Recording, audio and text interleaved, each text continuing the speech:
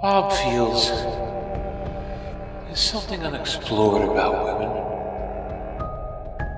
Something only Bob can explore.